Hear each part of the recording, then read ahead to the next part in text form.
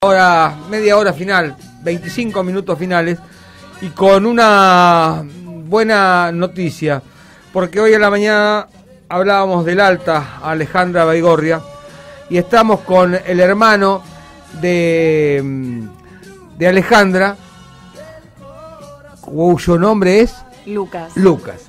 Lucas, eh, te damos mm, los buenos días eh, para que los des las buenas nuevas. ¿Cómo te va, Luis? Eh, Lucas.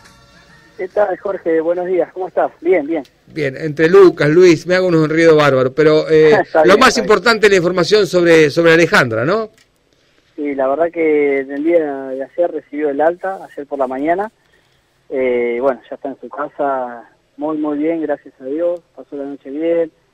Eh, así que va todo para adelante, como, como, que- como queríamos. Está bien. Eh, oíme, eh, con relación a, al- a los cuidados que va a tener que tener ella hasta la eh, definitiva este, mm, rehabilitación, ¿cuáles son, Lucas? Mira, eh, por el momento, bueno, yo fui a visitarlo hoy a, a la mañana, me comentaba que los médicos le habían indicado eh, bueno, que empieza a comer mucha proteína, mucha vitamina, aparte de un complejo vitamínico, que va a tener que estar tomando por, creo que son tres meses, todos los días, eh, porque, bueno, la verdad que quedó muy muy débil, peso, Y claro. ella, ella de por sí ya era, ya era flaca y bueno, eh, quedó, quedó muy, muy flaquita, pobre, muy débil. Pero sí, bueno, cuidados eh, la casa, no hacen ningún tipo de esfuerzo. El viernes tiene el control con el médico, a ver cómo va todo, pero la verdad que hoy cuando fui a verla, estoy muy contento porque la vi, llegué y mira, para contarte que estaba haciendo una, una ensalada de frutas en la casa, así que Ah, eh, estaba muy muy bien de ánimo. No hay que darle tareas para que para que haga de a poquito para que su cabeza viste no no retroceda y no tenga ningún trastorno emocional por lo menos en estos primeros días que salió del hospital Sí, sí, yo casualmente te, eh, mi intención era preguntarte sobre el tratamiento postraumático que, que queda en una persona de, de esa característica después de, de un atentado, ¿no?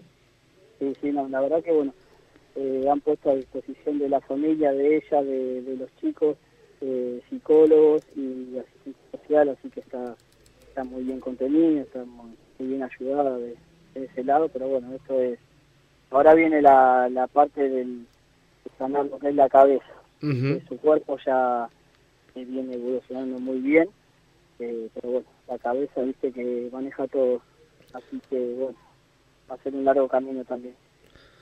Bueno, Lucas, eh, no queremos andar en detalle, lo más importante está dicho, que Alejandra ya está en su casa, eh, el tiempo irá ayudando a que salga de esta situación y que mm, ojalá eh, no tengamos que volver a ocuparnos de, ningún tema ni para con ella ni para con ninguna otra mujer eh, en estos casos de violencia y que Alejandra pueda retornar lo más rápido posible a su vida normal, a cuidar sus hijos y a vivir en familia que tanto la han acompañado y que han demostrado todo el cariño que lógicamente le tienen, Lucas.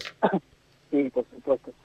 Queremos que estas cosas no nunca más, ni en Varadero, ni en, ni en ningún lado, ¿no? Con ninguna otra mujer yo estoy seguro de que, hay muchas chicas que pasaron o, pasan cosas como tuvo, le tocó a mi hermana y bueno, eh, la que no se anima a hablar, que, que lo hable a tiempo, porque bueno, las cosas terminan así lamentablemente.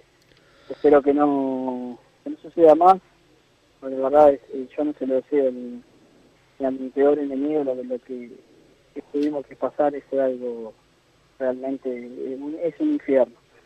Eh, así que Jorge, déjame agradecer, eh, ya voy a tener tiempo para, acercarme con ella a, lo- a los medios, en la radio vamos a ir a hacer, si nos permiten un agradecimiento a, a todos los que me dieron una mano, pero bueno, ahora agradecer al, pueblo que fue el, que estuvo desde un primer momento, la verdad, tuvimos un apoyo que fue algo impresionante. Agradecer y, llevar tranquilidad a toda la de Varadero de que Ale, que Ale está bien y está sana, gracias a Dios, al pueblo y a la mano de todos los médicos. Muy bien, muy bien, Lucas. Eh, gracias. Nosotros no hemos hecho otra cosa que cumplir con, nuestra obligación de, estar al lado de ustedes, de informar, de convocar y de permanentemente tener la preocupación de saber el estado de salud que no solamente era nuestro, la preocupación, sino era de, de todos los oyentes que nos siguen día a día. Yo solamente me resta decirte que te mando un fuerte abrazo que le mandes un cariño muy grande a Alejandra y ojalá algún día de estos podamos tenerla acá en nuestros estudios eh, ya normalizada su situación en cuanto a lo físico y lógicamente la alegría también, no tengo el gusto de conocerla, pero sí el afecto de, de, una persona que sabemos eh, de bien y que lógicamente se merece el mayor de los respetos. Te mando un abrazo, un saludo y cariño a toda la familia. Lucas. Dale, Jorge, un abrazo grande para vos, eh, para todo el equipo de la radio, que la verdad que estuvieron desde el primer minuto y eso se agradece y se valora mucho. Un abrazo. No, no hay de qué. Lucas Baigorria, el hermano de Alejandra, dándonos esta muy buena información.